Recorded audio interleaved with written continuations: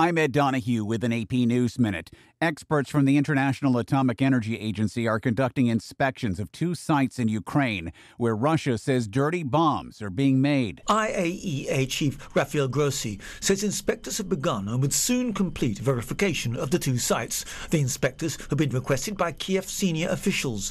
The Kremlin's made unfounded accusations that Ukraine's preparing to use a so called dirty bomb, an explosive laden with radioactive materials. Western nations, however, have rejected as transparently false the Kremlin claimed. Ukrainian authorities dismissed it as an attempt to distract attention from Moscow's own alleged plans to detonate a dirty bomb. I'm Charles de Ledesma. Ships loaded with grain departed Ukraine despite Russia suspending its participation in a UN brokered deal that ensures safe wartime passage of critical food supplies meant for parts of the world struggling with hunger. I'm Ed Donahue.